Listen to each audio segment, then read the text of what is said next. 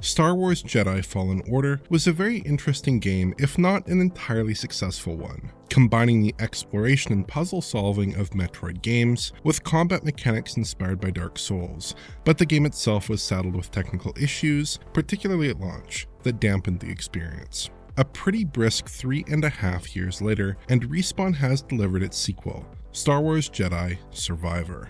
This is a boundary pushing current gen exclusive built on Unreal Engine 4 with ray tracing and advanced image reconstruction. So, does Jedi Survivor rival the best looking current gen games, and has it repeated some of the technical sins of its predecessor?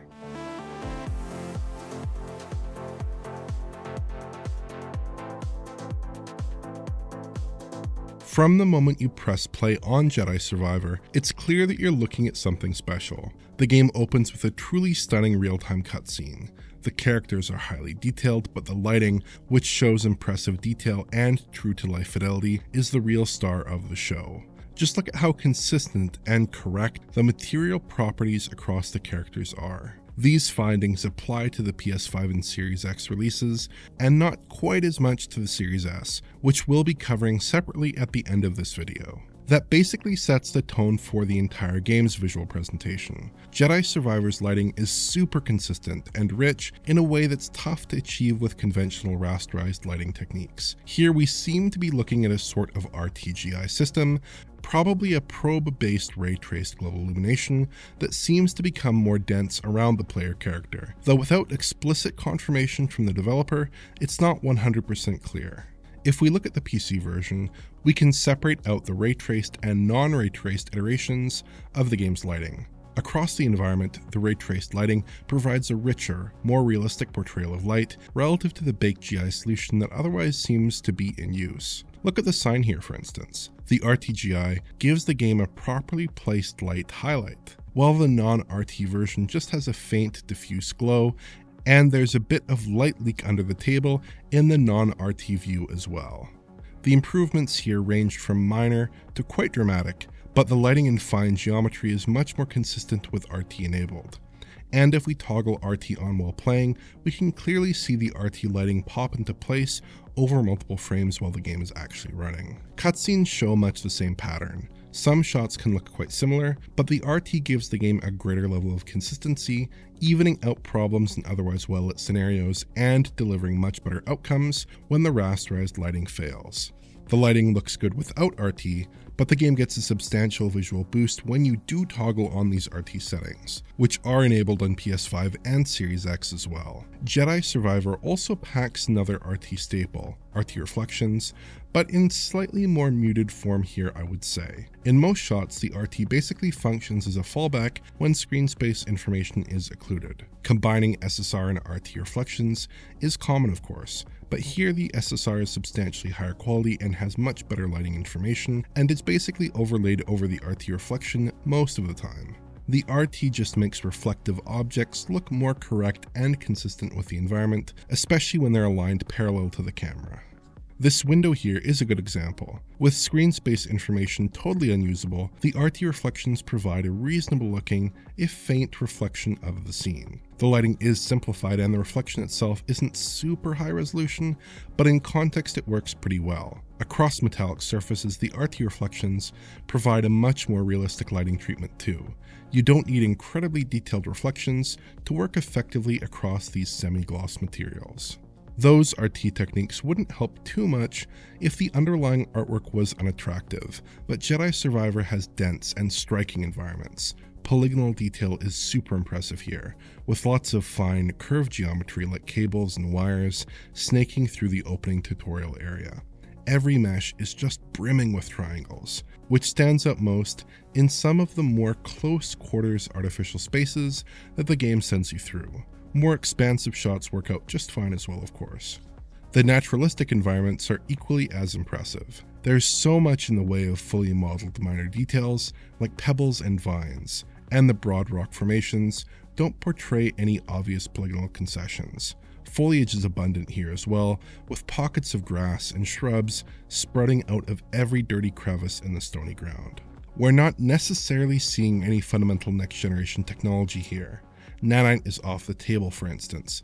given that this is at its heart an Unreal Engine 4 based game. But the sheer quantity and quality of environmental assets is a step beyond last generation efforts. That becomes especially obvious when you bring in Star Wars Jedi Fallen Order, Jedi Survivor's predecessor.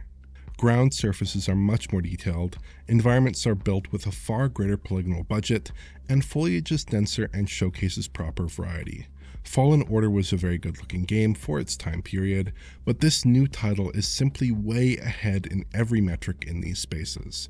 Jedi Survivor's environmental designs are larger scale and more interesting as well, in my opinion, as some of the planets in Fallen Order could look a bit bland.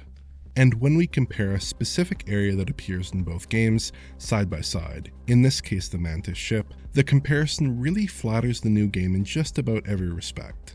Of course, we're getting a lot of extra polygonal density and texture detail across each surface. Some five years after the original game, the Mantis is in a state of relative disrepair, and that shows in scratched paint and scuffed surfaces. Just look at the wall panel here. In Fallen Order, it's flat, clean, and sort of featureless, whereas in Survivor, the paint has been stripped on the edges of the pressed metal through wear and tear, and the panels have been fleshed out with new geometry and mechanical adornments. The same holds true for the rest of the vessel as well. The other key improvement, of course, comes from the lighting. The original looks fine here with a sort of moody dark lighting setup that looks sort of cool but doesn't really correspond to how the lights are actually set up in this space. All the lighting in Jedi Survivor seems to accurately contribute to the final look of each shot, with emissive lighting in particular a real standout. The interior looks evened out somewhat, with subtler distinctions between light and dark. The lighting setup is mostly similar, but a few spots have had artistic tweaks, like the corridor to the mechanical room, which is now mostly lit from doorframe mounted lights. The main character also looks more realistically grounded within these spaces, without the gamey look that the prior game suffered from. On the whole, Jedi Survivor is definitely up there in my eyes with the best looking games of this generation so far.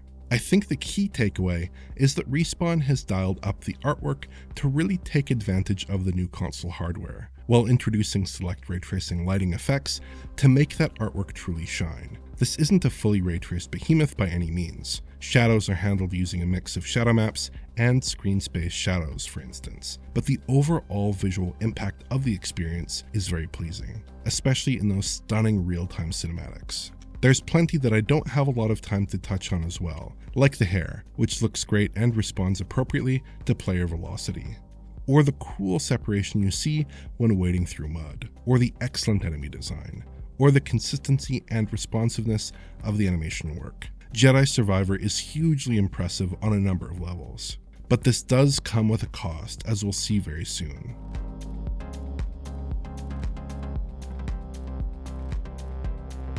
So far, I've been showing off Jedi Survivor on PS5 in its resolution mode, and there is a good reason for that. The game operates using heavy upsampling courtesy of AMD's FSR2 to achieve its final rendered imagery, and that technique works much better with a higher internal resolution. For the PS5 version of the game, my colleague Tom Morgan counted results roughly in the ranges on screen for the two modes on offer. Essentially, the PS5 renders at around approximately 1152p or 720p during gameplay, depending on the visual mode, with heavy upsampling to make that imagery look good on a high resolution display. In resolution mode, it looks like the game is upsampling to 4K, while performance mode upsamples to 1440p. Both modes do maintain the ray tracing effects, however, and there doesn't seem to be a substantial difference between them outside of resolution and some minor differences in foliage. As a final note, cutscenes on both modes run in the same resolution window, with a 4K like image resolve and a 30 FPS performance cap. Exactly how well this works in practice is going to be a matter of personal taste and the display you have. With motion blur on in the resolution mode, I didn't find it to be too annoying sitting a typical viewing distance from a large, slightly laggy VA LCD television but the game does suffer from substantial artifacting, specifically around fine geometric edges and character silhouettes, that kicks up basically any time there's movement. This gets worse in the performance mode, which struggles somewhat against its relatively low internal resolution. We're going to be seeing a lot of aggressive upsampling in use as this console generation progresses, but I do wish that the results were a little bit cleaner here. Series X fares about the same as PS5 in terms of image quality, and pixel counts come in at roughly the same figures as you might expect. We're still looking at heavy upsampling in both visual modes, with substantial artifacting and aliasing as a result. Let's look at performance, starting with Series X. In its resolution mode, the X does manage to hold a pretty consistent 30 FPS. Long stretches of gameplay run at a straight 30 without any real deviance. There's a one-off dropped frame sometimes, but we're mostly looking at a pretty decent 30 FPS update here. And Unreal Engine 4's excellent motion blur leaves the game looking pretty smooth in motion. However, there are moments where the game can drop pretty hard. Certain spots during gameplay and cinematics tend to chug badly, notably when large alpha effects are on screen. It's a bit annoying but not terribly frequent, and framerate drops in Jedi Survivor on all consoles are often accompanied by tearing in the top third of the screen, presumably a measure to improve input response, though the tear lines can be pretty distracting. The performance mode targets a 60 FPS update, and unfortunately, the results aren't great. In the opening level, performance tends to hover between 45 and 60 FPS in a sort of frame rate no man's land, with near constant tearing as a result. This is punctuated occasionally by larger frame time spikes as well. Subsequent naturalistic areas like Koboh tend to run with more consistent performance, though these also suffer from occasional drops on a conventionally refreshed panel. I'm not a big fan, but VRR displays cope better with the uneven performance. The PS5 seems to perform similarly enough. Again, expect a relatively consistent resolution mode with some minor drops and bizarre trouble spots, and a performance mode that really struggles to reach 60 FPS in some areas. There's not much performance between the two consoles as far as I can tell, with both exhibiting similar drops in the same spots.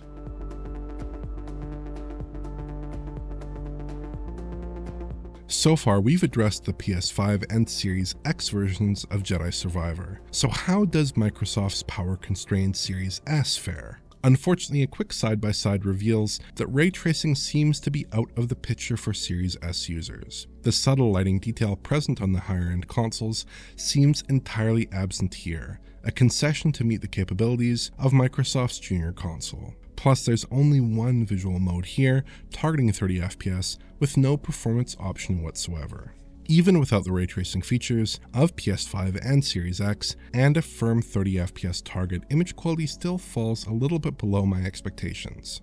It looks like we're seeing roughly a 1080p reconstruction target here based on the scaling artifacts, general lack of detail in the final image, and blurry UI. Internally, the game seems to operate around 864p or so most of the time, which sort of splits the difference between the resolution and quality modes available on the other platforms. It's not an entirely unexpected result for the console, though I really hoped the ray tracing features would be retained. Outside of those configuration changes, the visual settings do look similar to the higher end machines. Asset quality may be a bit lower, but the resolutions make it sort of hard to tell what specifically could have taken a hit.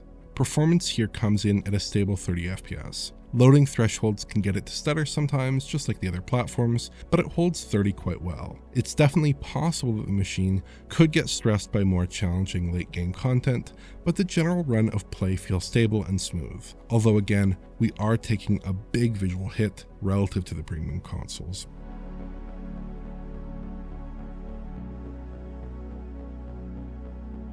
Star Wars Jedi Survivor is a game of two halves. Firstly, and most impressively, Jedi Survivor looks excellent. Thanks to highly detailed models and an effective RT implementation, the game is often stunning and can hold its own against the top tier of current gen titles. It's really pleasing work, and Respawn has delivered a game that makes very effective use of current gen hardware, which is a rarity so far this generation. But the other side of Jedi Survivor isn't quite as positive, Image quality concessions had to be made to deliver this level of visual fidelity, with heavy FSR2 based upsampling producing noticeable artifacting in general gameplay. And performance isn't great either. The 30 FPS targeting modes mostly work okay, punctuated occasionally by frame rate drops and tearing, while the performance mode on Series X and PS5 offers a pretty shaky tear filled update. There are other issues too, including visual and gameplay bugs that pop up from time to time, occurring pretty often relative to what we usually see in big budget releases. You get the sense that the game probably needed a few extra months of polish on consoles to look its best. and the PC version, which Alex took a look at in an earlier video, is in very poor shape at the moment. Respawn does seem to be aware of the issues on all platforms and is readying patches, so hopefully some of these problems will be rectified soon enough. So for now, Star Wars Jedi Survivor is a flawed gem from a graphical perspective. The level of visual accomplishment shouldn't be understated, but neither should its performance woes. If you enjoyed this video, please like, subscribe, and press the bell for YouTube notifications. Check out the Patreon at digitalfoundry.net for exclusive and early access content. And to get in touch, just use Twitter. Thanks for watching.